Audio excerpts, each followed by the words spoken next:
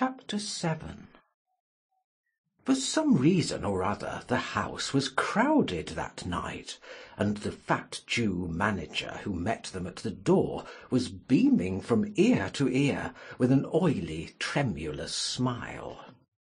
He escorted them to their box with a sort of pompous humility, waving his fat jewelled hands, and talking at the top of his voice. Dorian Gray loathed him more than ever. He felt as if he had come to look for Miranda, and had been met by Caliban. Lord Henry, upon the other hand, rather liked him. At least he declared he did, and insisted on shaking him by the hand, and assuring him that he was proud to meet a man who had discovered a real genius, and had gone bankrupt over a poet. Hallward amused himself with watching the faces in the pit. The heat was terribly oppressive, and the huge sunlight flamed like a monstrous dahlia with petals of yellow fire. The youths in the gallery had taken off their coats and waistcoats, and hung them over the side. They talked to each other across the theatre, and shared their oranges with the tawdry girls who sat beside them. Some women were laughing in the pit. Their voices were horribly shrill and discordant. The sound of the popping of corks came from the bar. "What a place to find one's divinity in!" said Lord Henry. "Yes," answered Dorian Gray. It was here I found her, and she is divine beyond all living things. When she acts, you will forget everything. These common rough people, with their coarse faces and brutal gestures, become quite different when she is on the stage. They sit silently and watch her. They weep and laugh as she wills them to do. She makes them as responsive as a violin. She spiritualizes them, and one feels that they are of the same flesh and blood as one's self." "The same flesh and blood as one's self? Oh, I hope not!" exclaimed Lord Henry, who was scanning the occupants of the gallery through his opera glass. "Don't pay any attention to him, Dorian," said the painter. "I understand what you mean, and I believe in this girl. Any one you love must be marvellous, and any girl who has the effect you describe must be fine and noble. To spiritualize one's age, that is something worth doing. If this girl can give a soul to those who have lived without one, if she can create the sense of beauty in people whose lives have been sordid and ugly, if she can strip them of their selfishness and lend them tears for sorrows that are not their own, she is worthy of all your adoration, worthy of the adoration of the world. This marriage is quite right. I did not think so at first, but I admit it now. The gods made Sibyl Vane for you. Without her you would have been incomplete. "Thanks, Basil," answered Dorian Gray, pressing his hand. "I knew that you would understand me. Harry is so cynical, he terrifies me. But here is the orchestra. It is quite dreadful, but it only lasts for about five minutes. Then the curtain rises, and you will see the girl to whom I am going to give all my life, to whom I have given everything that is good in me. A quarter of an hour afterwards, amidst an extraordinary turmoil of applause, Sibyl Vane stepped on to the stage. Yes, she was certainly lovely to look at, one of the loveliest creatures, Lord Henry thought, that he had ever seen. There was something of the fawn in her shy grace and startled eyes. A faint blush, like the shadow of a rose in a mirror of silver, came to her cheeks as she glanced at the crowded, enthusiastic house. She stepped back a few paces, and her lips seemed to tremble. Basil Hallward leaped to his feet and began to applaud.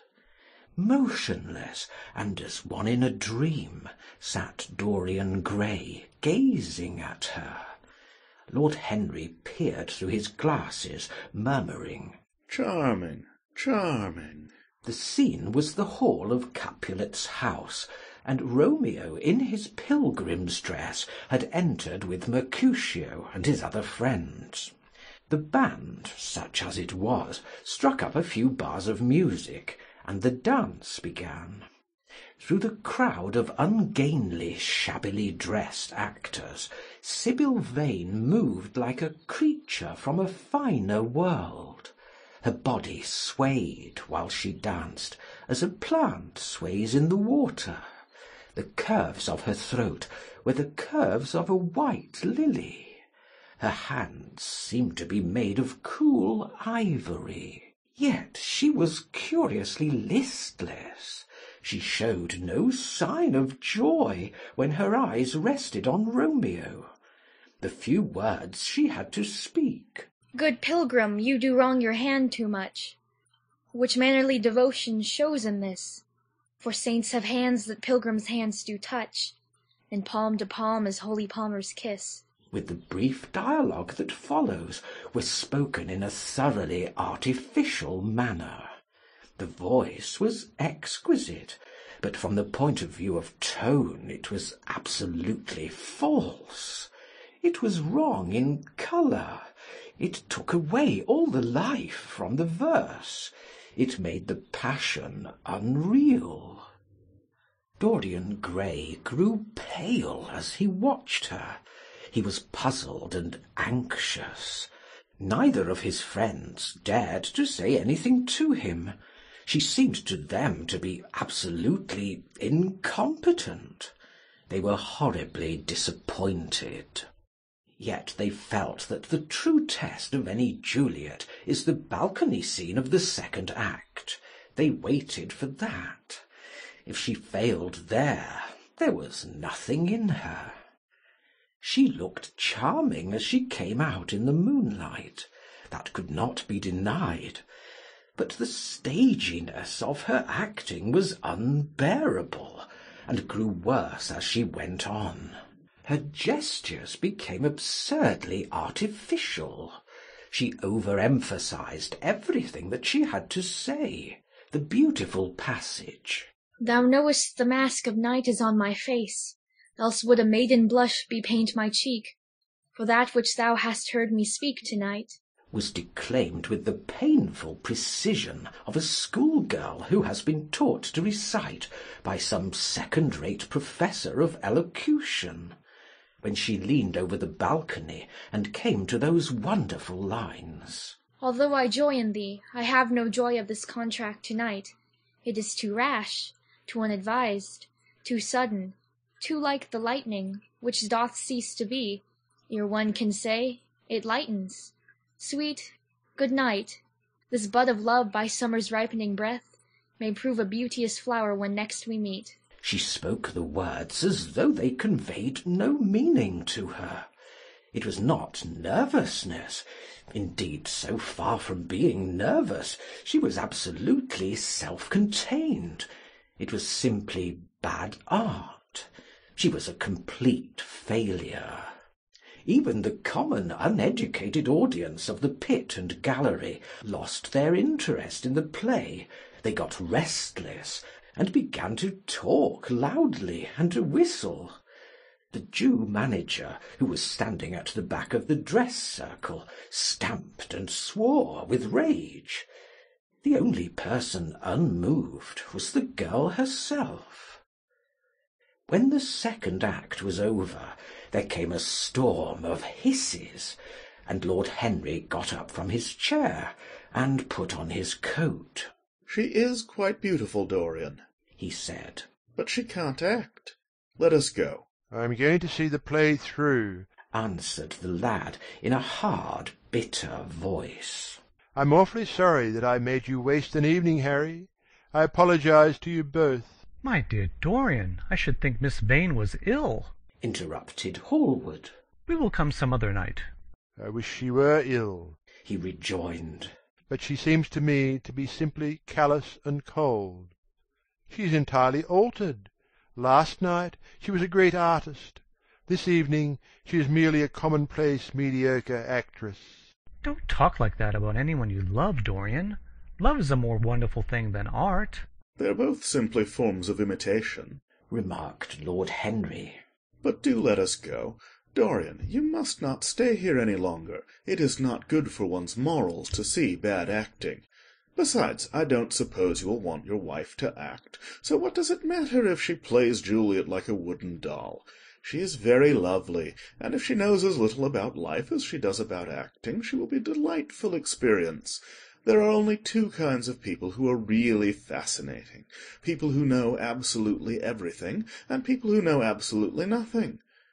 Good heavens, my dear boy, don't look so tragic. The secret of remaining young is never to have an emotion that is unbecoming. Come to the club with Basil and myself. We will smoke cigarettes, and drink to the beauty of Sibyl Vane. She is beautiful. What more can you want? Go away, Harry, cried the lad. I want to be alone. Basil, you must go. Ah, can't you see that my heart is breaking? The hot tears came to his eyes, his lips trembled, and rushing to the back of the box, he leaned up against the wall, hiding his face in his hands. "Let us go, Basil," said Lord Henry, with a strange tenderness in his voice, and the two young men passed out together. A few moments afterwards the footlights flared up and the curtain rose on the third act. Dorian Gray went back to his seat. He looked pale and proud, and indifferent. The play dragged on, and seemed interminable. Half of the audience went out, tramping in heavy boots and laughing. The whole thing was a fiasco. The last act was played to almost empty benches. The curtain went down on a titter and some groans. As soon as it was over, Dorian Gray rushed behind the scenes into the green room. The girl was standing there alone, with a look of triumph on her face. Her eyes were lit with an exquisite fire. There was a radiance about her. Her parted lips were smiling over some secret of their own. When he entered, she looked at him, and an expression of infinite joy came over her. "How badly I acted to night, Dorian!" she cried. "Horribly," he answered, gazing at her in amazement. "Horribly. It was dreadful. Are you ill? You have no idea what it was. You have no idea what I suffered." The girl smiled. "Dorian," she answered lingering over his name with long-drawn music in her voice, as though it were sweeter than honey to the red petals of her mouth. "Dorian, you should have understood. But you understand now, don't you?" "Understand what?" he asked angrily. "Why I was so bad to-night. Why I shall always be bad. Why I shall never act well again." He shrugged his shoulders. "You are ill, I suppose. When you are ill you shouldn't act. You make yourself ridiculous. My friends were bored. I was bored." She seemed not to listen to him. She was transfigured with joy. An ecstasy of happiness dominated her. "Dorian, Dorian," she cried. "before I knew you, acting was the one reality of my life. It was only in the theatre that I lived. I thought that it was all true. I was Rosalind one night and Portia the other. The joy of Beatrice was my joy, and the sorrows of Cordelia were mine also. I believed in everything. The common people who acted with me seemed to me to be godlike. The painted scenes were my world.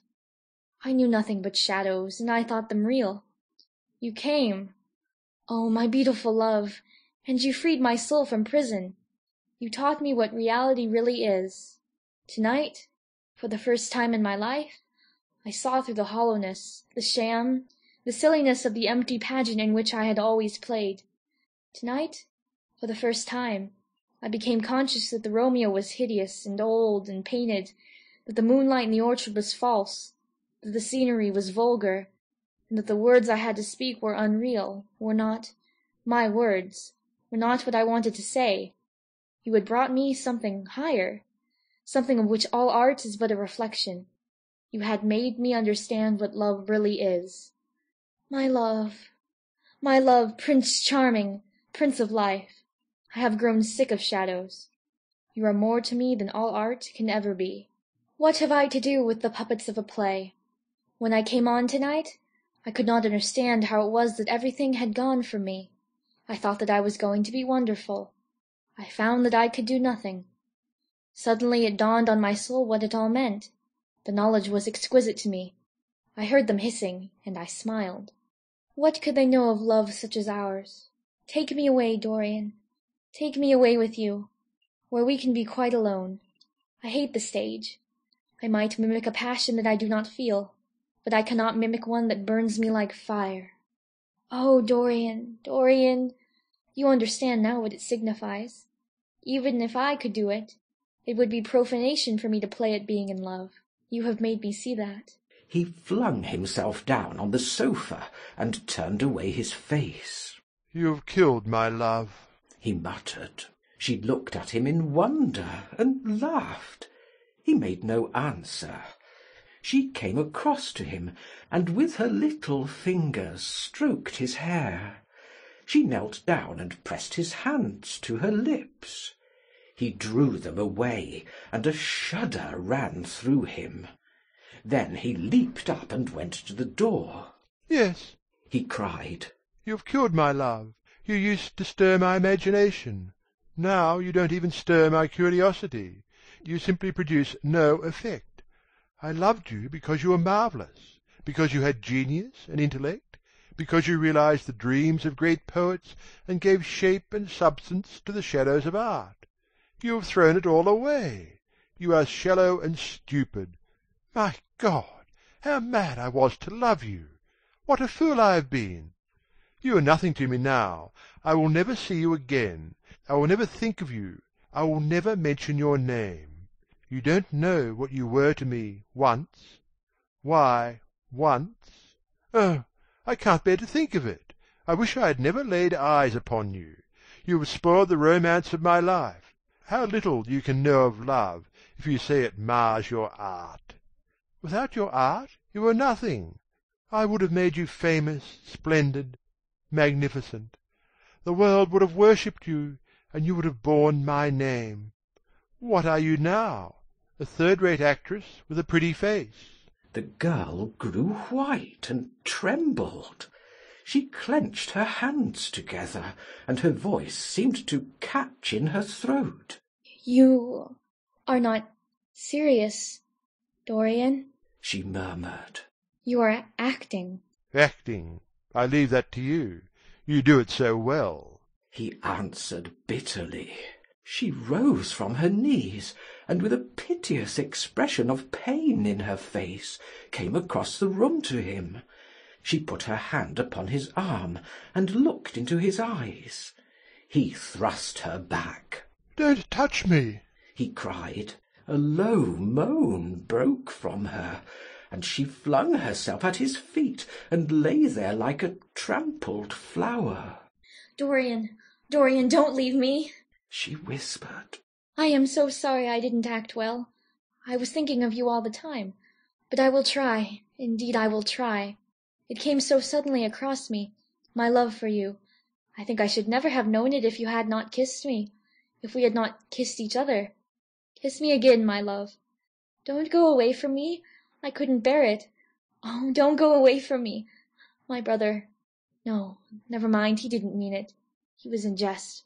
But you oh, can't you forgive me for tonight? I will work so hard and try to improve. Don't be cruel to me, because I love you better than anything in the world. After all, it is only once that I have not pleased you. But you are quite right, Dorian. I should have shown myself more of an artist. It was foolish of me, and yet I couldn't help it. Oh, don't leave me, don't leave me." A fit of passionate sobbing choked her. She crouched on the floor like a wounded thing, and Dorian Gray, with his beautiful eyes, looked down at her, and his chiselled lips curled in exquisite disdain.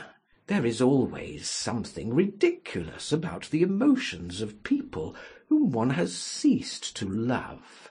Sibyl Vane seemed to him to be absurdly melodramatic. Her tears and sobs annoyed him.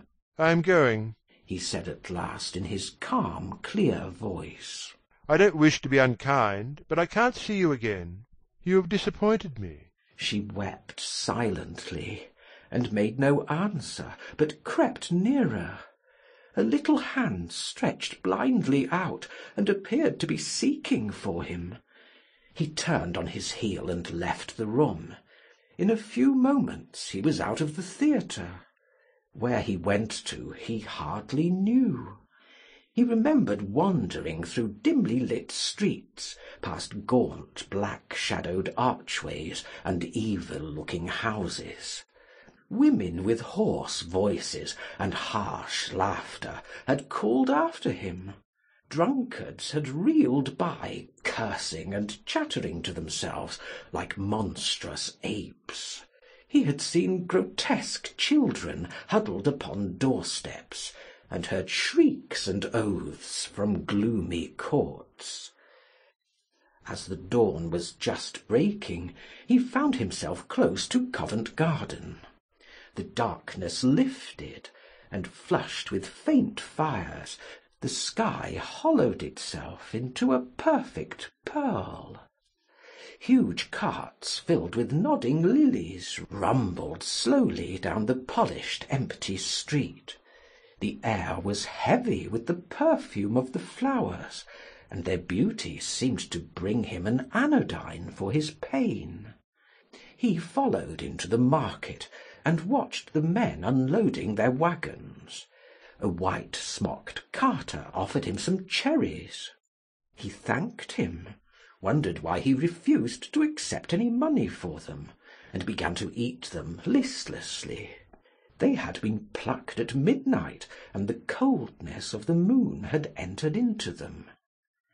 A long line of boys carrying crates of striped tulips and of yellow and red roses defiled in front of him, threading their way through the huge jade green piles of vegetables. Under the portico, with its grey sun bleached pillars, loitered a troop of draggled bare headed girls, waiting for the auction to be over. Others crowded round the swinging doors of the coffee house in the piazza. The heavy cart horses slipped and stamped upon the rough stones, shaking their bells and trappings. Some of the drivers were lying asleep on a pile of sacks. Iris necked and pink footed, the pigeons ran about picking up seeds. After a little while he hailed a hansom and drove home. For a few moments he loitered upon the doorstep, looking round at the silent square, with its blank, close shuttered windows and its staring blinds. The sky was pure opal now, and the roofs of the houses glistened like silver against it. From some chimney opposite a thin wreath of smoke was rising. It curled a violet riband through the nacre coloured air. In the huge gilt Venetian lantern, spoil of some doge's barge, that hung from the ceiling of the great oak panelled hall of entrance, lights were still burning from three flickering jets. Thin blue petals of flame they seemed, rimmed with white fire. He turned them out, and having thrown his hat and cape on the table, passed through the library towards the door of his bedroom, a large octagonal chamber on the ground floor, that in his new-born feeling for luxury he had just had decorated for himself, and hung with some curious Renaissance tapestries that had been discovered stored in a disused attic at Selby Royal. As he was turning the handle of the door, his eye fell upon the portrait Basil Hallward had painted of him. He started back as if in surprise. Then he went on into his own room, looking somewhat puzzled. After he had taken the buttonhole out of his coat, he seemed to hesitate. Finally he came back, went over to the picture and examined it. In the dim arrested light that struggled through the cream coloured silk blinds, the face appeared to him to be a little changed. The expression looked different. One would have said that there was a touch of cruelty in the mouth. It was certainly strange.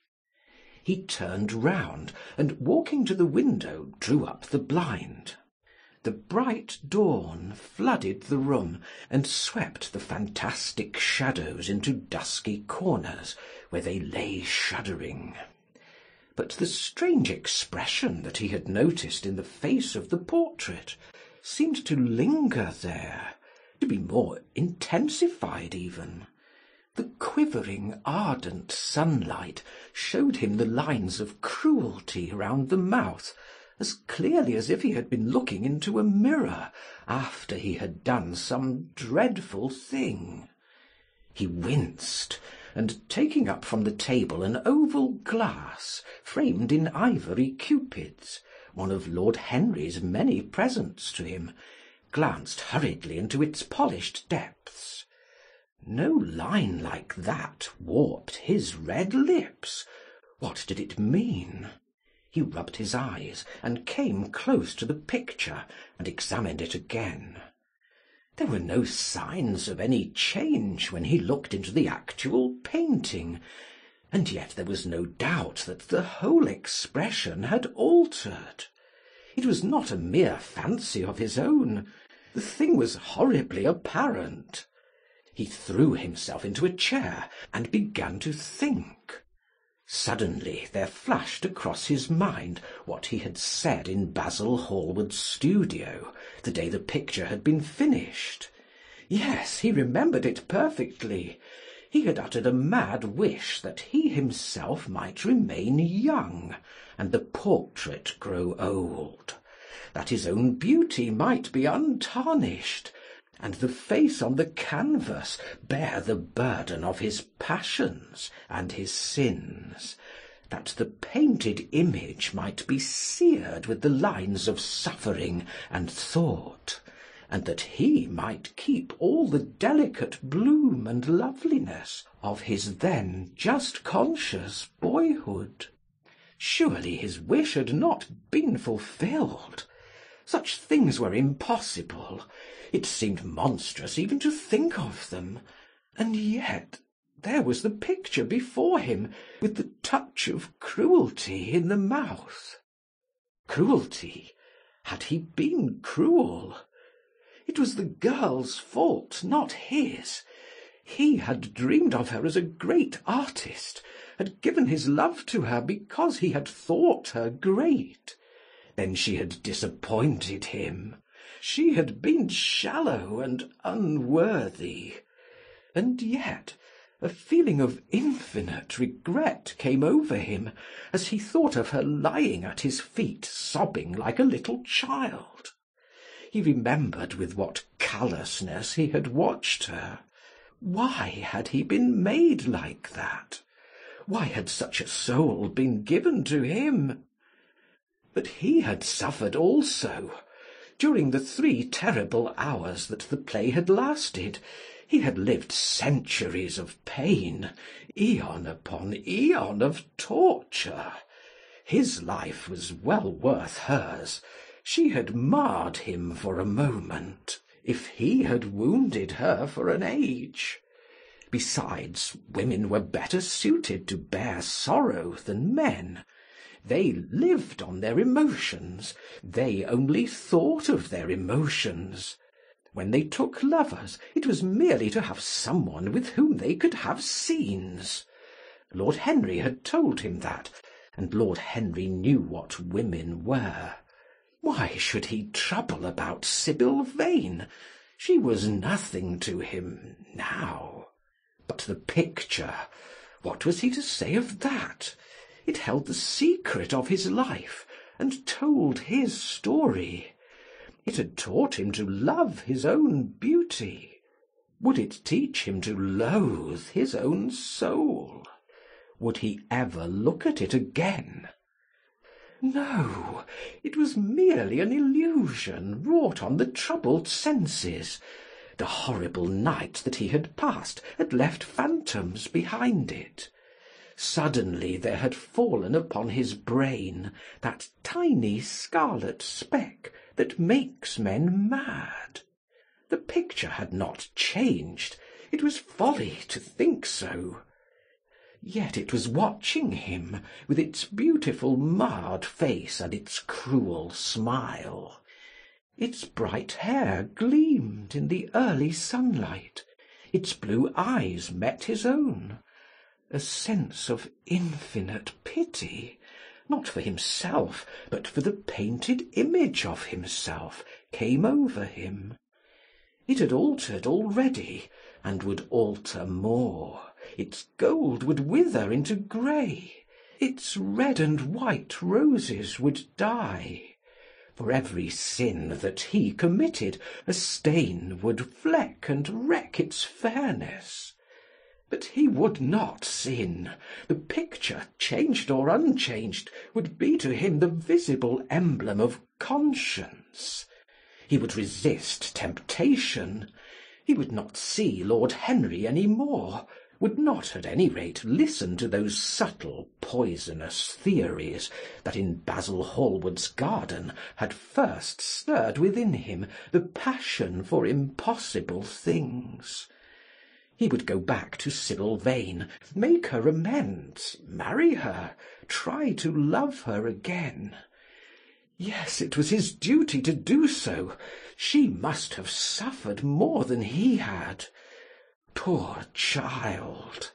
He had been selfish and cruel to her. The fascination that she had exercised over him would return. They would be happy together.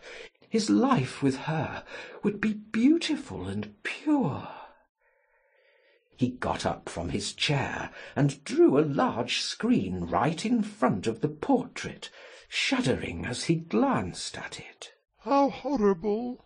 he murmured to himself, and he walked across to the window and opened it. When he stepped out on to the grass, he drew a deep breath. The fresh morning air seemed to drive away all his sombre passions. He thought only of Sibyl. A faint echo of his love came back to him. He repeated her name over and over again. The birds that were singing in the dew drenched garden seemed to be telling the flowers about her.